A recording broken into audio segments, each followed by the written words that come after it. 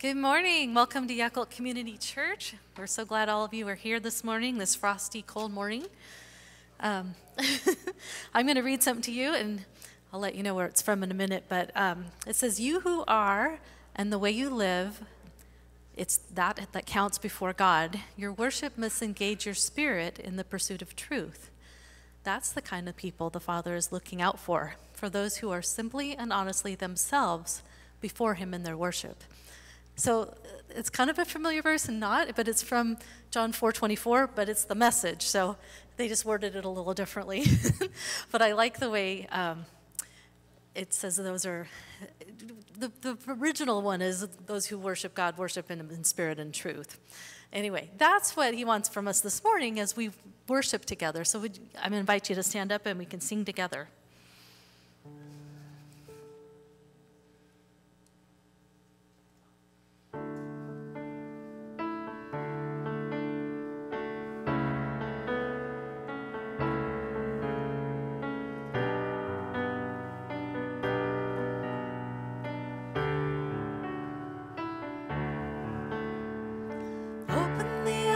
of my heart, Lord.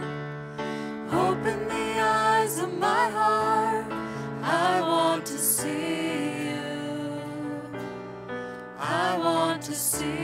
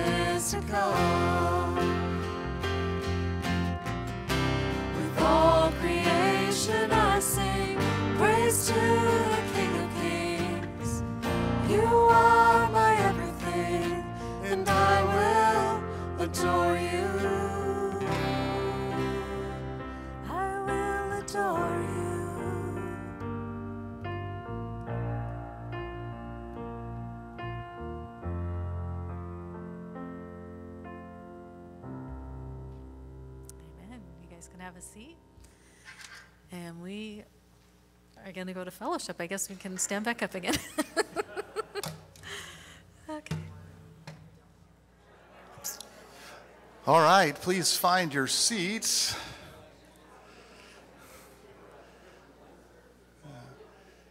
This morning is the, the end of what has been like a three week mini stewardship campaign. Uh, we had a, an original stewardship campaign for our church building project two years ago. And uh, three weeks ago, we, we kicked off a, a second, smaller campaign. So if you're just visiting today and you haven't been here any of the last three weeks, not all of this will will um, make a whole lot of sense um, without that context. So, but it is a special service in, in that sense. But it's also um, a special service because we kind of knew this day was coming. Uh, with um, a family in our church that, that has been here sometimes over the last number of years as they've been transitioning in their life. They have um, bought a home in Idaho and have moved there. Actually, this is a couple years ago. Um, but they had their business back here and they've been working back and forth. And, and uh, most of you know them. If you don't, um, we're going to introduce them in this morning. So if I could have Steve and Chrissy Swift please come up here.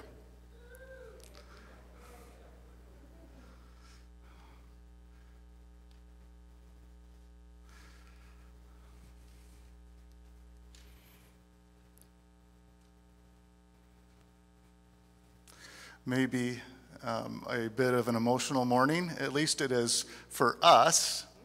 And um, the reason why is how, how, let's just do this. Would you just give us a little bit of your history here at the church? Because it goes back just a little ways. I will start because I was first, and uh, it was in the third grade when my family moved out here. Recall going to Betty Jane's uh, Sunday school class, and to the best of my recollection, that's when I realized that there there was something different about going to church. There was this person, Jesus, that you had to figure out what you were going to do with. Oh, and we got married sometime after the third grade. Um, and uh, I uh, came out here when I was 26. And um, Mary Shabo and Kenna Tom and a few others, Susan and James and Robin and Diane were here, and uh, a whole bunch of kids. And so Mary and I had this way far out idea that we should do something with them. So we did.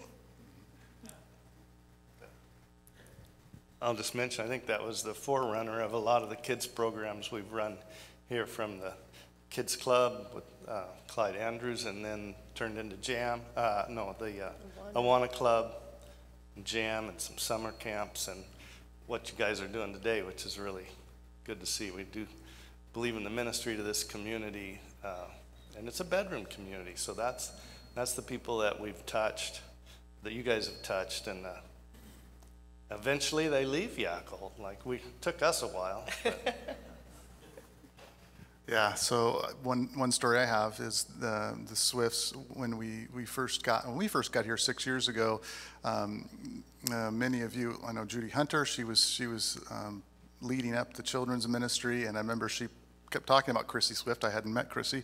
And then she pulled out and showed me the Christian education manual that was put together by Chrissy. And um, I, I tell you, it was, it was, I've seen a lot of seminary syllabi that wasn't as well organized as that was. So, um, and yet written for, written for our volunteers here. And so, and Steve has served on our elders board as well. So just so much ministry that um, they've laid the groundwork for. I'm personally thankful for. Um, I've had an opportunity to come after the fact and um, work in ground that uh, you guys have cultivated for many, many years. And so um, to make this time even a little bit more special, uh, ask the, the Harmons to come up and, and pray for you guys um, as, we, as we send you off because officially you, you, kind of been back and forth, but now the business is sold. Is, the, it did sell Wednesday? Okay, so it's officially sold Wednesday, their business. And how, any more property that's still got to sell? Okay, so there's three more parcels of property out of how many that you've sold over the last? 13, so, so wow, so quite a bit. So I'm just going to pass this off and allow the Harmons to, to send you off in, in prayer. So, oh, you bet, you bet.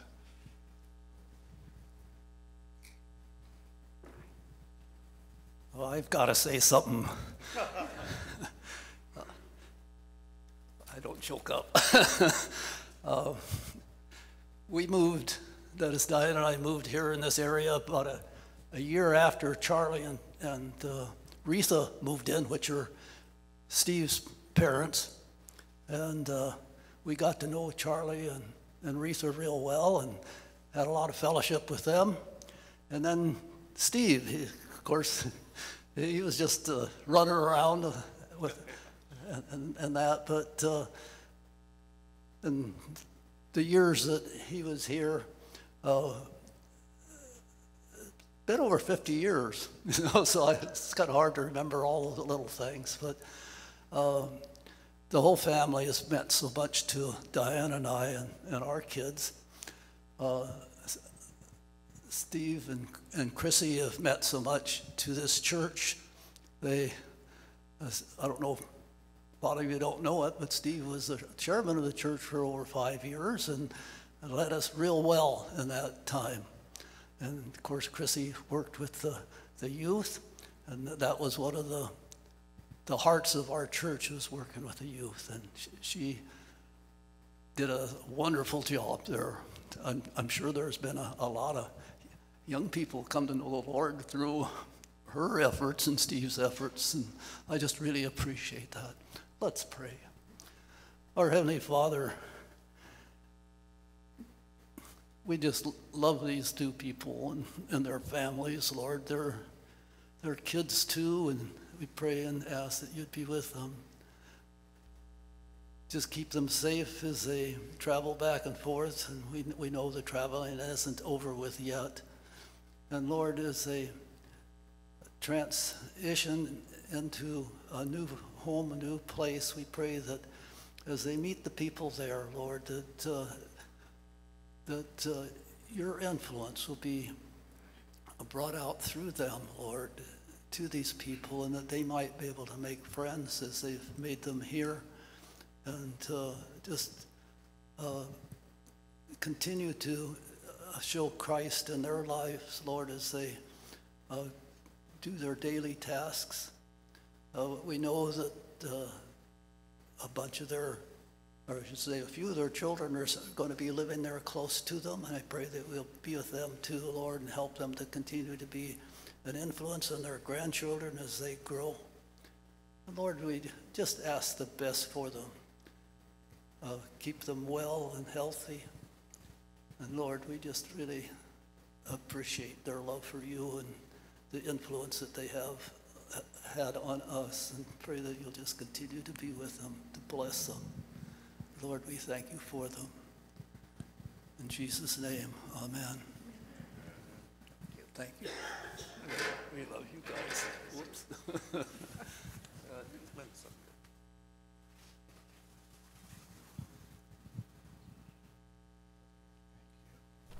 You want it back? You want it back? Okay.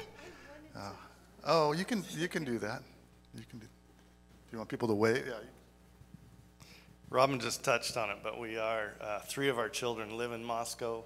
Lydia and uh, her family will be there through January doing a rural thing. So, um, kind of a new hub for our family. And I didn't know it was going to be so hard to pull up roots and go, but um, we're, we're doing it today. And there's another way you really can get to know a person, um, and that's having them as your landlord and landlords. And um, they, they, they were our, my family's landlord for almost two years. And um, it was, it was uh, not that I didn't think it would be this way, but it was a joy in that relationship with you. And it was interesting because of all the transitions to and from and being here and being in Idaho. Many times Chrissy would go back to care for things in Idaho. And, and so that meant Steve was here by himself. And, and um, he would just, a number of different times, just happen to know when it was dinner time and just drop by the house to, to, to say hello. And it just, we happened to just be sitting down for dinner at that same time. So. Uh, If I recall it, Julie really wanted to live in an old farmhouse. And after a few months in the old house that I grew up in, I think she talked Bill into saying, I want a new house. she didn't have to talk me into it. Uh, thank you, guys. We love you. Thank you for, thank you for everything. Okay, um, you can please turn in your Bibles to the book of Ezra. Ezra. And a few weeks ago, I told you um, I was going to preach my shortest sermon, and I think I lived up to that. Um, and that was difficult. This was, won't be quite as short, but it still is going to be condensed. And so um, I will do my best because of the things that we have going on uh, to, to stick to, to that. But we're going to really just focus on, on one verse. And before we, before we do, there's just a few things I need to draw your attention to. So hopefully you got yourself a bulletin. And I'll just mention on the back side of this bulletin, there is a flyer. And that flyer says, Are you a crafter?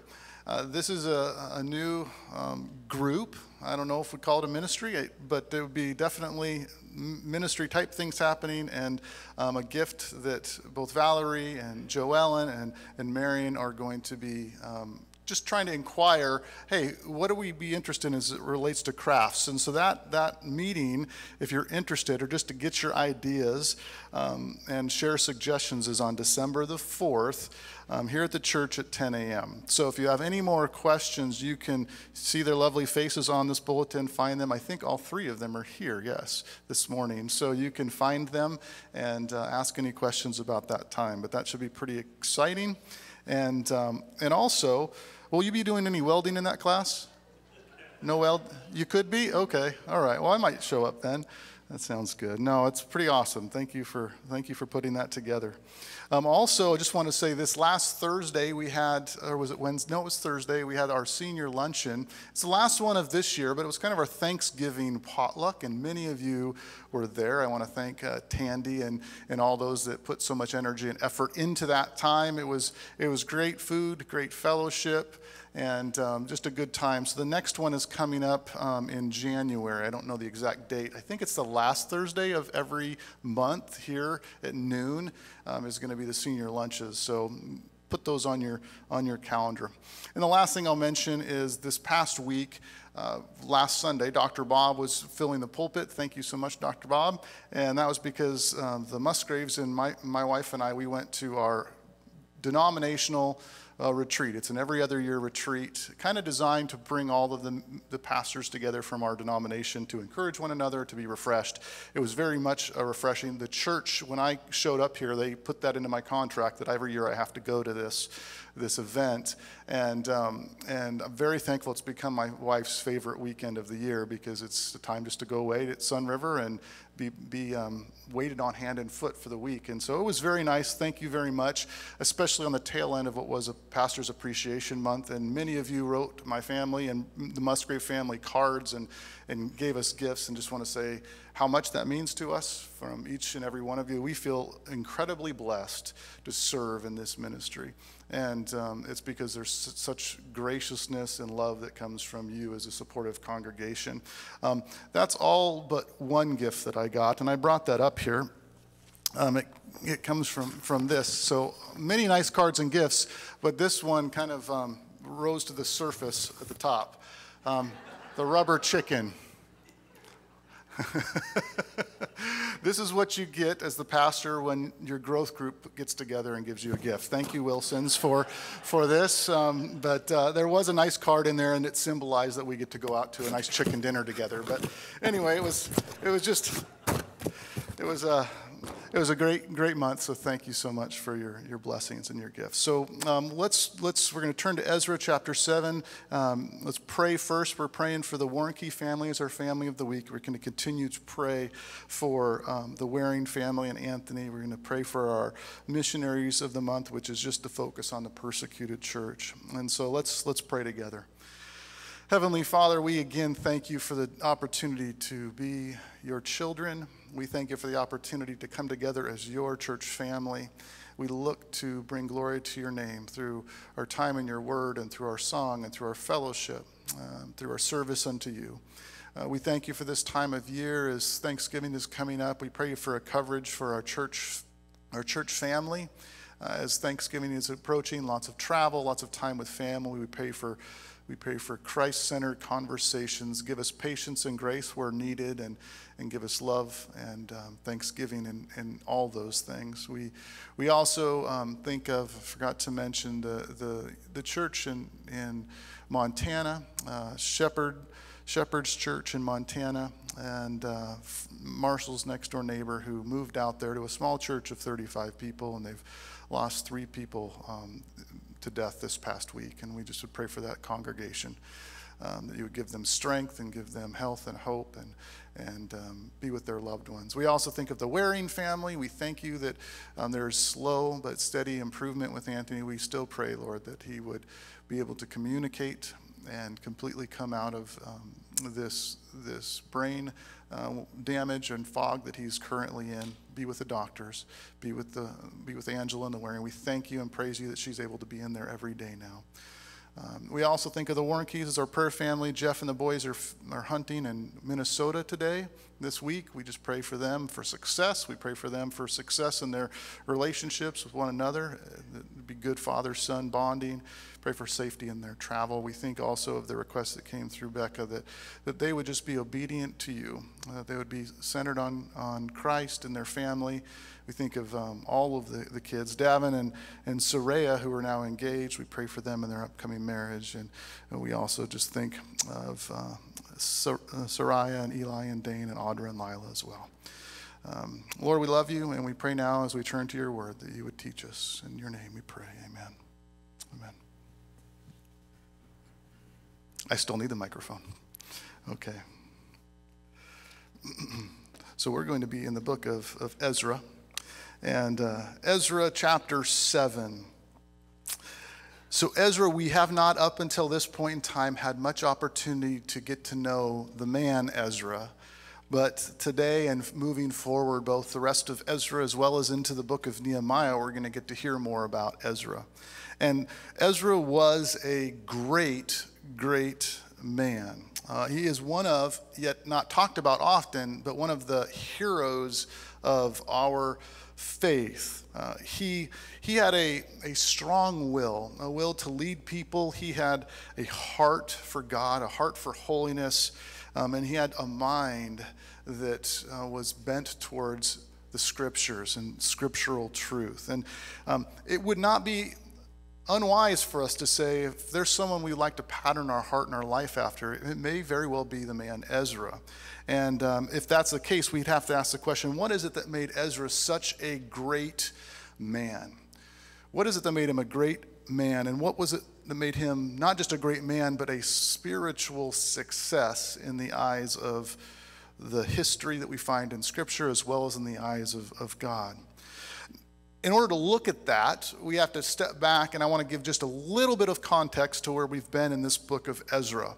You should have in your bulletin um, a, a sheet that is not connected, an individual sheet that shows a timeline.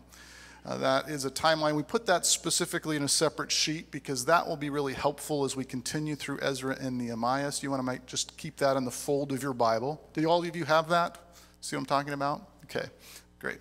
So, with that, you'll notice that Ezra really is broken up into two parts. Part one is chapters one through six.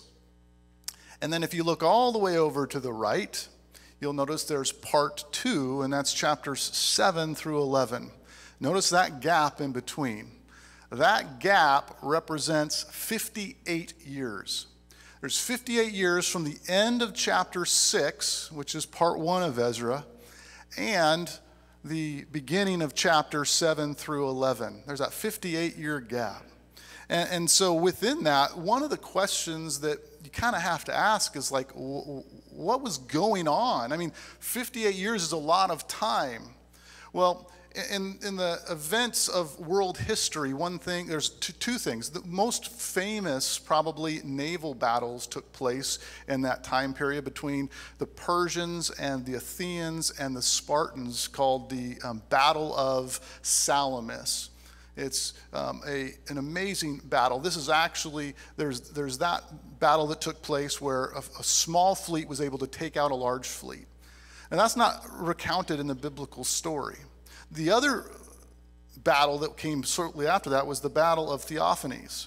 And um, what you'll see in that battle, that's, if you've heard of the Spartans, the Spartans, the, the 300 Spartans that held off this massive Persian army. Many movies have been made about this. That, that took place in this same time period.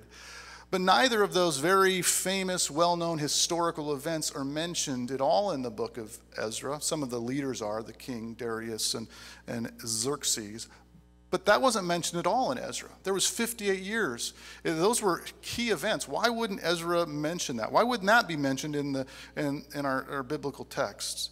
Um, and, and one of the reasons why, and probably the primary reason why, is something more important was taking place in those 58 years. And what was taking place in those 58 years was that God was making a man. Uh, he was making a godly man. And that man was a man who, in verse 6, it tells us that God's hand was upon him. God's hand was upon this man, Ezra. And that can mean a lot of things within the Old Testament. But as we've done in this series, we have to bounce between the Old Testament and the New Testament. We live in the New Testament times. And so for us, we can say, well, what does it mean for today, for Christians today, to have the hand of God upon, the hand of God upon us? One of the key things it means today is that any of us who call ourselves Christians, who accepted by faith the unconditional love of the Lord Jesus Christ, we can say the hand of God is on us. God's hand is upon us through his Son, Jesus Christ. But in the Old Testament, that's not the same way it worked. Um, the, the Lord blessed Ezra in a very special way. His spirit rested upon Ezra. And, and many of that reason why was because, yes, God did his part by laying his hand upon Ezra, but Ezra had a part to play as well. Um, and so with Ezra, he had God's hand on him, um, but at the same time, he was a faithful servant of God he was faithful to his calling. He, he wasn't just a puppet that got kind of dangled by these strings that God just kind of pulled and moved the way that he wanted him to do. Um, he had a responsibility and a part. He was a human being. He had a mind. He had a, he had a will. He had a heart. And that heart was made to, and that will was made to, and that mind was made to glorify God as it is for all of us. But not all of us and all of people in history have chosen to engage that mind and that heart and that will in glorifying God. But Ezra did, and he did it in a very special way. a very special way that, that is laid out in a verse in Ezra chapter 7 that is probably one of the greatest and best verses that outline what it means to have a life of influence. If any of us want to have a life of influence in this life and in this world, it, it could be patterned directly after Ezra chapter 7, verse 10. And this is what it says. Ezra 7:10 says, For Ezra. That word for there, that's the connection primarily between part one, chapters one through six, and what's happening now in part two. Because in part one, verses chapters one through six, it was about rebuilding a temple, a physical building. But in chapters seven through 11, the focus isn't about a building, the focus is on rebuilding people rebuilding the theological foundation of a people, the Israelites, who struggled with their faithfulness to the Lord. And it was going to take a strong leader with the right stuff in order to carry through and bring about the renewal, the rebuilding of a people of God, a people that were prone towards idolatry, that were prone towards wandering, that were prone towards their own ways. It needed a leader. And we're going to see that leadership played out as we move forward. But in this case, we get to see the, the nuts and the bolts of what it took for this man who God used to bring about the rebuilding of his people in verse 10. It says, For Ezra had set his heart to study the law of the Lord, to do it, to teach it, his statutes and the rules in all of Israel. This is a powerful verse. You've got a very simple outline, and it's a simple outline because I have this ability to make simple things complex. I don't want to do that this morning. This is a very simple outline, and, it's actually laid out by the Lord through this book of Ezra in a perfect sequence. I think if you were to switch this order around, this wouldn't work. But for Ezra, he prepared himself. He set his heart to study. Your, your translation, if you use King James or New King James, might say seek. Different translations, same word. To seek, to study the law of God. That's number one in, in the notes that you have there. To, to study God's word. This is the, the first component that really made his life a life of influence. He studied the scriptures, the scriptures that he had at that time. So you have this studying aspect. So, verse 1, best summary.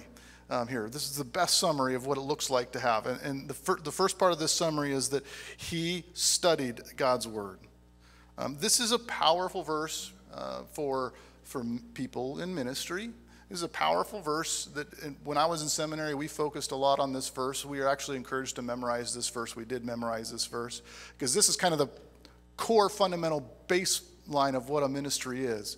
But I think we're missing the point if we think this is just for pastors or for church leaders. This is a, a, fundamental component to every follower of Jesus Christ to be one that sets their heart on seeking the Lord, on studying the, the Lord and His Word specifically. Because we set our hearts on all kinds of things. That's what idolatry is. But as followers of Christ, we say, we no longer live to our own will, but we live unto the Lord, and we set our heart to study His Word. And so that's that's it's good, it's true for all of us. And so he's committed Ezra to setting his heart upon the study of the Word of God, the Bible. That's what he's focused on. So he puts his heart on this issue, he focuses on it. But then he does something that is so important, and the text lays this out. He sets his heart to study the Word, but secondly, he does the word. He doesn't just focus on learning it, getting it in his head, he actually applies it. He starts to do it. And all of us in here are guilty of this, of, of knowing far more than we actually apply. It's part of the fallenness of our, of our humankind. It's part of the depravity of man. It's part of being a descendants of, of Adam and Eve, is that we're prone towards um, following and having head knowledge, but not actually engaging that in real life. Well, Ezra led the way here. He says, I study the word, but I don't study the word just to gain it for my own understanding. I actually go and I apply that. I, I, I, set my mind on studying it, but then I also find ways to make that very applicable in the life that I am called to live. And so, with this, we don't know exactly what this looked like, how he studied it, but also how he did it. Well, we do know how he did it we'll see that as it lays out the rest of, of chapter 7 through 11 and following. Another place that you'll mention, if you're in a growth group, you'll have this as one of your points to read, and that's in the, the chapter 8 of the book of Nehemiah. You get a really good description in another book, the book of Nehemiah, on what it looked like for, for Nehemiah to really grow in the Word of God and what that looked like and the implications that that had for his life. But so important, so important that he would apply. One of the things that's neat about current biblical education and seminaries and, and anything like that is that there was one point in time where you would go and you would get your degree um, and then you'd go and you would start teaching. That would be what would happen. But now, most all seminaries, most all Bible colleges that are worth their salt require their students to be involved in, in ministry, student, you know, finding ways to engage in. So that way, when they graduate, they graduate with more than just a certificate that tells them they can teach. The whole purpose of that is to make sure that they're applying and they're doing. And what about us? How about us? We may not go to seminary or Bible college, but we're followers of Christ and we're called to do. We're called to engage. Um, we saw that with Steve and Chrissy as, as Robin and Diane displayed what they've done for this church body. And I see it in many, many, if not all of your faces in one way or another. Sometimes your ministries are directly involved in being part of a team, but many times it's behind the scenes and you're serving in other, other ways. But I would say keep that up because we have to be doing the word, not just studying the word, um, but to do it as well. Um, all right, the third and the final one here is, is that Ezra didn't just study, he didn't just do, but then he went to teach. This is a natural progression. The natural progression. Um, teaching the, the statutes, the rules to, to Israel. That's what he would have done. Um, and we have this famous slogan, you know, Nike slogan, just do it. Most all of us know that. But Ezra would have said, I can't just do it. I first have to study, study it, then I have to do it, but then I have to go on and I have to teach it. I have to let it go. It has to flow out. And so just notice the, the, the scope of Ezra's vision for ministry. He wanted to teach God's law to Israel, but before he did that, he studied it and then he did it. Um, he wanted to reach this entire nation with the Word of God. That's what his desire was, that was what his goal was. And that's what he ended up doing. Um, now, many of us could say, well, I'm not a teacher. Here's the reality is every one of us in here has influence.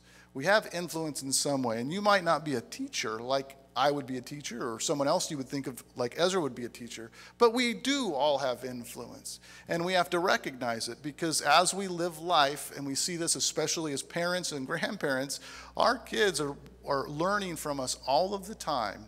Whether we are a Bible teacher from a pulpit, or whether we're a welder or a teacher, or, or anything else, our kids are learning, and people around us are watching. And so I don't think you can be a follower of Christ and not in some way have the, the gumption within your soul to be an influencer, to let that truth that you're practicing and living out in your marriage and your, your workplace and your church to somehow rub off on other people.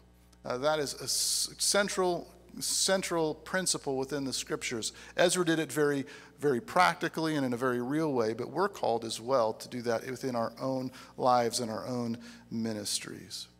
And so all of this truly is, is, is very easy to apply as we think about these things. Spend time in God's Word and then apply God's Word. Do what it says.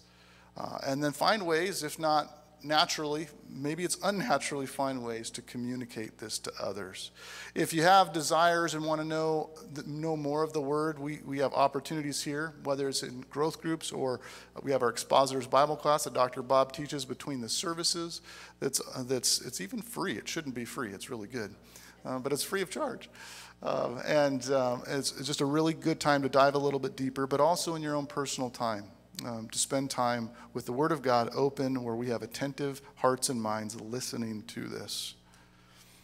Um, so I'll make this, this clunky transition at this point, because also looking at the clock.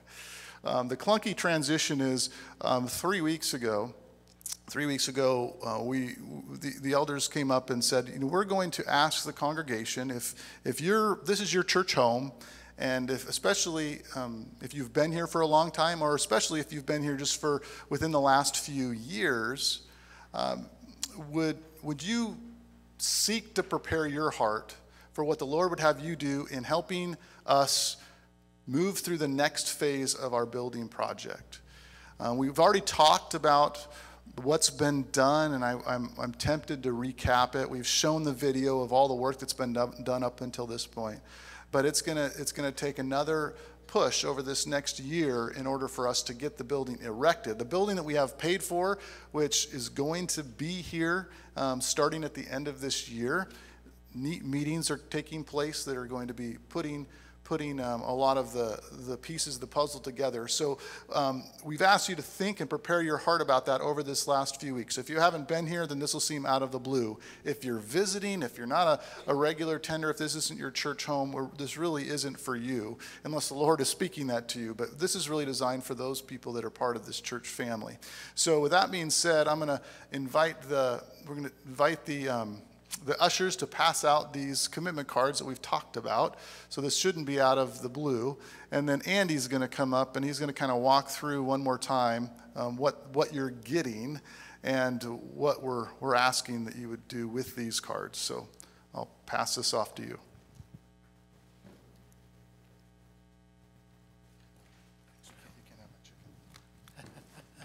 Says I can't take his rubber chicken. Can't take his rubber chicken. It's okay.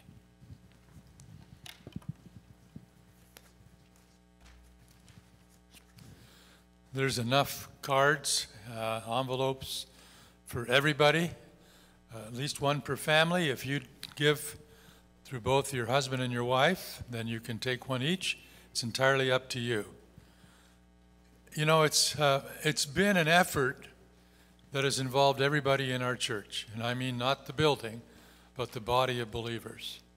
And that's why we did Moving by Faith, is to allow for the growing ministries in this body of believers. It's not to build a monument, it's to provide the resources, even as Ezra did in his ministry, so that the work can go on.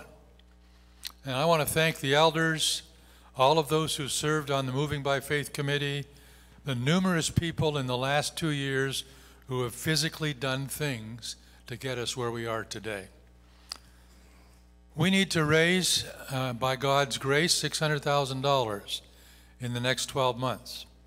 And I'd like to share, first of all, some good news with you about money. Money is a very mundane thing, but try do without it, and you don't get very far in the world we live in. We have received about $1.2 million to date. That does not include the grant. Our goal was 1 million, so we've exceeded the goal, which we mentioned uh, three Sundays ago. Um, our financial folks have put together numbers that tell me that at this point, we have almost $32,000 above what we have spent, including the shell, and so we're that much ahead of what you see done and what's been provided. We have $137,000 that's remaining on the commitments that people made two years ago when we gave you commitment cards. That's $137,000. Right now, there's $35,000 sitting in the general fund that if you choose to move that, to moving by faith, that will give us $205,000 towards the $600,000 that we need. Now, I call that a head start. That's a great start. So if all of those come in, we have about $400,000 to raise. I don't think that's unachievable. But if you look at your commitment sheet, it's not really a card, I would just like to walk through that quickly and you should have a pencil or a pen. We invite you to complete those cards here. If you have a strong conviction that you want to take it home and fill it out at home and bring it back, we sure hope that you bring it back. But let's look at the first line. So, two years ago, many of us made a commitment, and we have fulfilled that commitment. If you're one of those who are all done with completing your commitment, you would check that box right there. If it's all done, you've completed your commitment. The beautiful thing is some of you who do that still kept on giving, and that's really great. That's wonderful. The box number two, if or we made a commitment two years ago and we expect to fu- fulfill that commitment, check that box. You bet you're on target. You plan to complete your commitment by the end of the giving period. That's the box that you check. You're, a, you're you may be a part of that $137,000 that is yet to come in. The third one, in addition to the commitments I or we made two years ago, we believe God is leading us to give an additional commitment of. So, for those of you who made commitments already, this is an invitation to say, what can we do in the next year? Can you add to what you have left to give and add some more? It's going to take that to get to the $600,000. Now, this is an invitation. This is entirely up to you and God. No one's checking those numbers. So that's number three. Number four, I said last week as I stood up here, especially at the second service, there are so many new people in our church who've never had that opportunity to have a formal pre- presentation or to be invited to give. So if you are not involved and you want to participate, line number four is for you. What would God lead you to give in the next 12 months? How you give that, when you give it, and whether you choose to use cash or stocks or bonds or non cash gifts, that's entirely up to you. If you choose something that's non cash, would you make a note of that? Because you'll have to coordinate with someone from our church to make that happen. The next one if we do not achieve the $600,000 goal, we are looking at some short term loans because we don't want our workers to stop. We have the resources to back up short term notes. We have a facility that's valued at a million dollars. We have property over there on 12 acres that if you, as members, choose to sell some of that, there are plenty of assets to cover any short term notes. Obviously, the ideal is if you can make a low interest or no interest promissory note. All we're asking for now is is that something that would interest you? If we need to, and we have your name, we'll come and share more about you. We've gone to an attorney, Dr. Bob met with an attorney to make sure it's all done according to the law. If there's something else you want to give, then there's that one box, other, please specify. I know that one of the ways that some have given is if you're over 70 and a half and you have an IRA, you can give up to $100,000 every year and it's not a part of your taxable income. It's one of the greatest ways to give. But you need to talk to your broker and have it go directly to Yacolt Community Church. You can't just write a check or you won't get the advantage of that. So there are many ways to give. What you do is entirely up to you. We pray that God will move each of our hearts to do all we can to make sure we keep our crew moving and we have that building done. When you've completed your card, you can fold it. It goes in the envelope and uh, let's see, do we want to collect these, Beth, or we just want someone at the back to collect them? Okay, she'll collect them. Beth will collect them back here. All right, that takes part of the giving. Uh, now we're going to move to a short business meeting, right, on our agenda, and Tom is going to do that.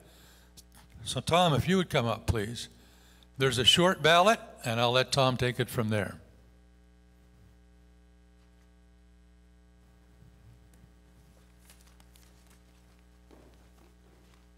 Oh, that feels good.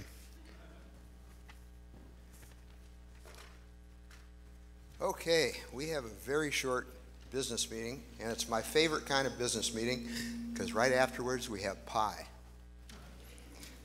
But seriously, we have a few things to vote on, and uh, let me just pray before we do. Heavenly Father, Lord, as we conduct your business, I would ask for your wisdom, I would ask for unity, and peace with the decisions we make here today. In Jesus' name, amen. So, does everybody have a ballot? Almost. I'm just going to go over quickly what we'll be voting on. Uh, as some of you, some of you know, Deidre Northern has Northern has been a financial secretary in the past. She's back east with her husband, helping family get through schooling. So we've been short some people, and in the meantime, Linda Dorr and Trish Peters have been helping out, and we'd like to officially vote on both of them. So that would be uh, item one and item two. Item three is, do you approve of soliciting short-term loans from within the congregation? And as Andy just said, uh, this could be a good way, backed up by the church property here, or the possible sale of the property uh, if we decided on the other side of the uh, other end of the church property down there, uh, would be a way of securing a loan. And the third is, do you approve a monthly transferring of funds throughout the building project to our MBF fund? So basically, we like to keep six months on hand operating expenses just in case. And uh, we've been coming back to the congregation and asking for a vote when it's time to transfer. We get excess funds transfer over. We just like to make this automatic where we keep that six months always. We never touch that. But above and beyond that, we can just transfer it into MBF without having to keep coming up for a vote. So with that being said, uh, I forgot to call this meeting to order. So uh, after explaining that, I'm going to call this meeting to order, and we're going to vote. So if you would take your card, and one more thing, uh, if you're a member, please mark member. If you're a non-member, we would still like to see your vote, and I would suggest you join the membership class and become a member. Don't be like Sherry and I and drag your feet for years. Just go ahead and do it. But uh, we'd like to see what your vote is, even though it won't officially count. And uh, there we go. Are there any questions? Good. Pie is on its way. Everybody vote, and we'll have the ushers collect these cards. And we're going to close in song. Yes. Yes.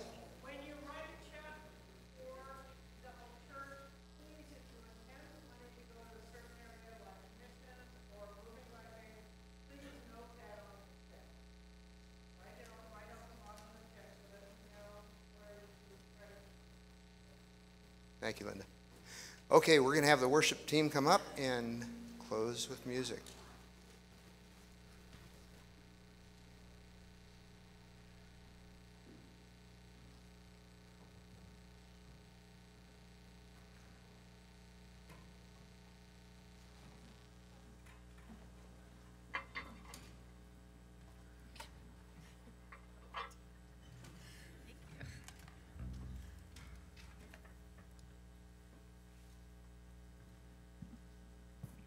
As we close the service, you guys want to stand up and join us as we worship together?